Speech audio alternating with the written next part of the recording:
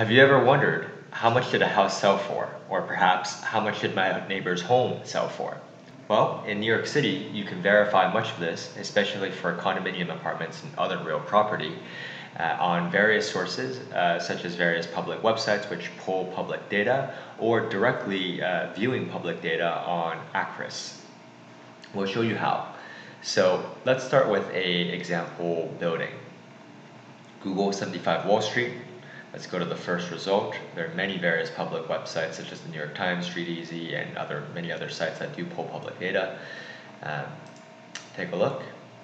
This is a condo building, has quite a few units for sale.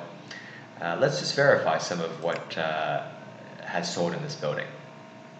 So, like any public website, you do have to take this with a grain of salt. Uh, when you see no longer available, for example, on this site, uh, this definitely does not mean it has sold. If you just take a look, you'll notice that this uh, is actually currently listed by another broker. So this is simply a uh, former broker's listing that wasn't successful in selling. So don't don't you should ignore these. These are basically previous attempted sales, um, and sometimes for the you know it, it, can be tried by different brokers as well for the same unit.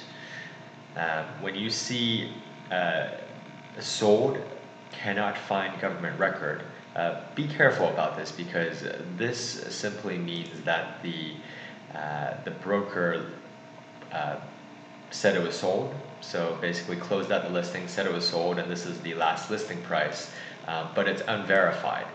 Um, fortunately, in this specific case, if you look just a little bit further down around the listing, you'll see that there is a later verification. So this website pulled a recorded sale uh, for this listing from Acris. So the actual sale price was 1.06 mil. You can actually click on this to find out more information. Um, let's take a look. So this is pulled from Acris. So just, just to recap, going back to that uh, example, you'll see that when you see only just this, be very wary because this is taking the broker's word for it. In New York City, the data quality is uh, pretty lax when it comes to the RLS, the REBNY RLS. Uh, there's, uh, you know, versus some of these other uh, regions, MLS systems, it can be quite strict with data quality.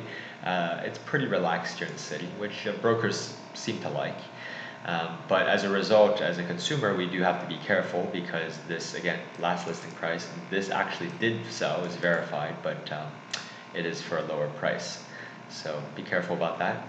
Uh, when you see records like this, for example, sold and then asking, uh, oftentimes this simply means that uh, this was verified, uh, or the data was, was verified through public records and it's one line item. So let's take a look just to confirm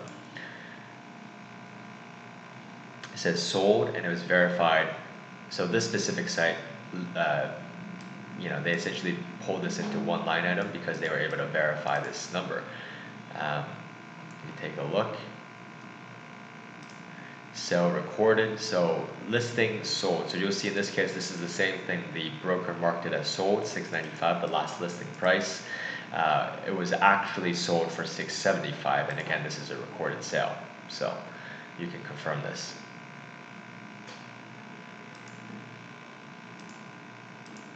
Go back.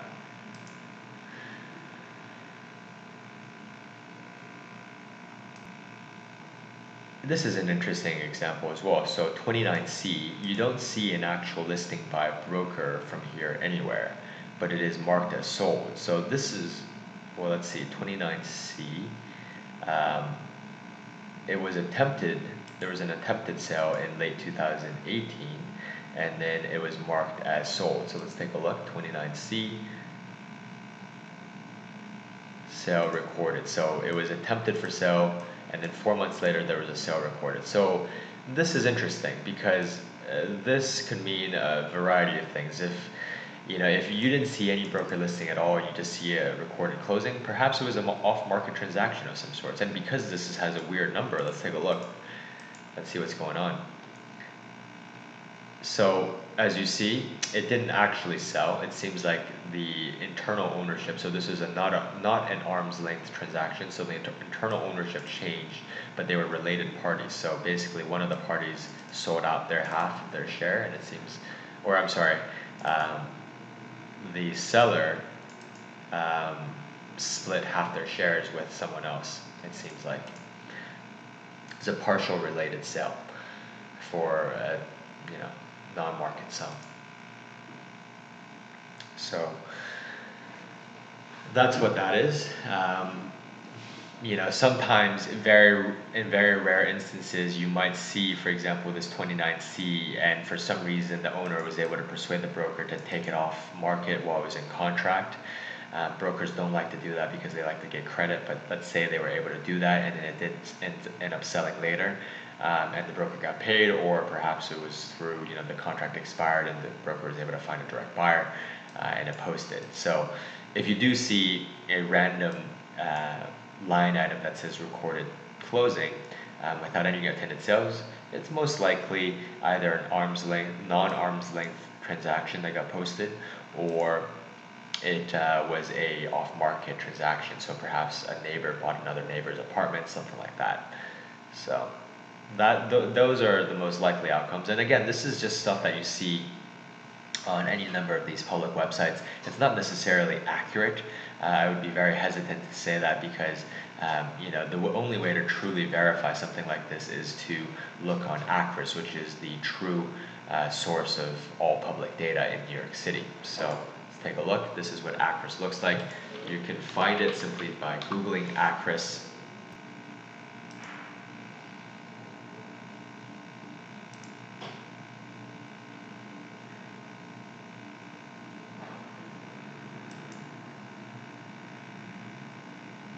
So in this case, it's asking you for a bar borough and then a block and a lot number. So you might not have this handy. Uh, remember, a, a, lot number um, is a identifier for a specific uh, piece of real property. So either a single condo unit um, or a, a house, right? But keep in mind for co-ops, it's a bit more difficult because a co-op is a single corporation that owns an entire building um, with many co-op shareholders who are technically tenants. So a co-op would only have one lot number, but an individual condominium apartment will have its own lot number. Um, anyway, you might not have these these BBL numbers available, so just do an address and parcel lookup.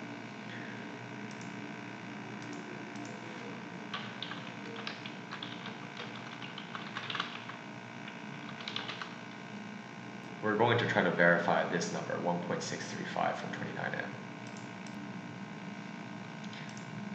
Hit enter.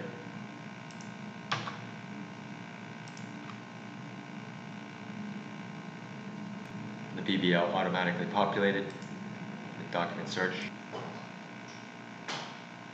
I would do maybe last five years. I would do deeds and conveyances. These others, not as interesting, especially since you know you're looking at a, um, a real property where deeds are they're the means of transfer.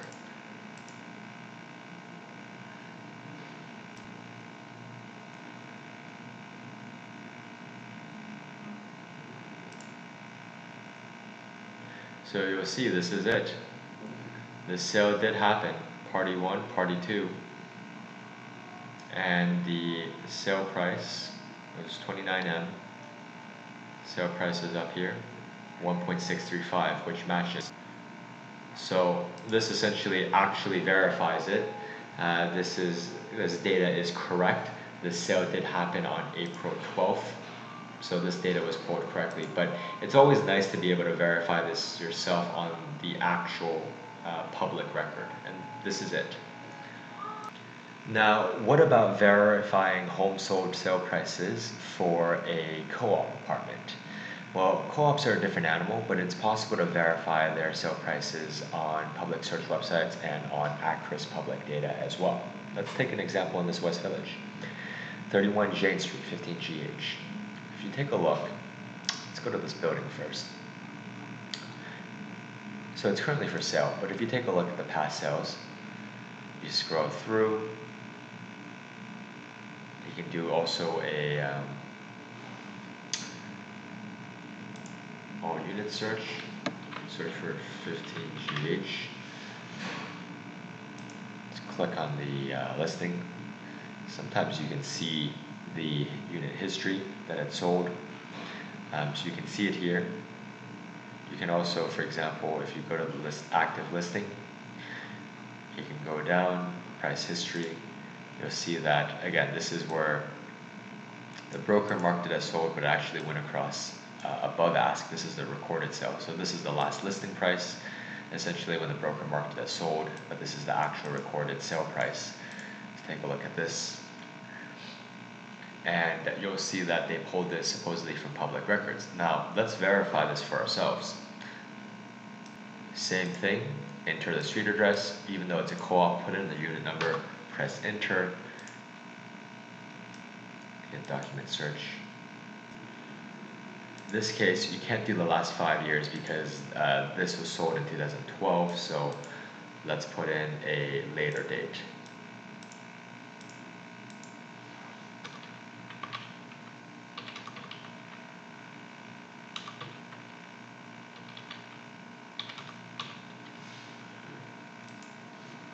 All document classes, and you'll notice that this is a bit different. You'll see that both RPTT and RETT is what shows instead of a D transfer. This is a co-op, so this will have to uh, be equivalent to a, a D transfer notice. So take a look, press details, and you'll do, you will see that um, this sale did occur. So the entire lot was transferred for 2.7 mil, and this occurred July 31st, 2012. So this data is correct. Uh, you were able to verify your, for, yourself and Acris and the public record. You see who the buyers and the sellers were. And this is, uh, this is helpful. And in case you are curious, RPTT stands for Real Property Transfer Tax and RETT stands for Real Estate Transfer Tax. Uh, if you are interested in what these uh, these major seller closing costs are, please check out the Hauseit website. Uh, we have a, a, recent article on changes to the New York City and New York State transfer taxes, uh, which are typically paid by sellers in a normal resale transaction. So the rates have changed. We encourage you to check out www.hauseit.com and check out our blog, uh, read our latest article. These are important changes. Uh, we'll glance through the article for you, but it is important. We do have a calculator for you to give you uh, an estimate of what your closing costs, including your transfer taxes specifically, are uh, based on various price levels and property types. So please check that out. We have a lot of great content and we would love for you to uh, give us some feedback.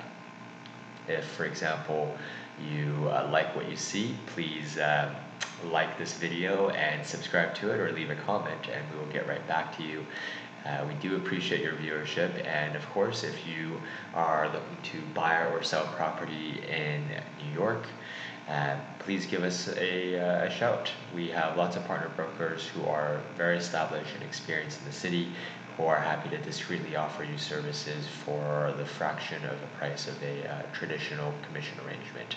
For example, sellers can sell for essentially 0% through our agent assisted FSBO uh, fee service and uh, sellers can also take advantage of our discounted full service options which are uh, dis discreetly discounted 1% uh, to the 1% uh, listing fee versus 6% regardless of what happens and on the buy side you can save uh, 20,000 or more on the uh, average New York City apartment to help cover your closing costs. And this comes from the buyer agent's commission.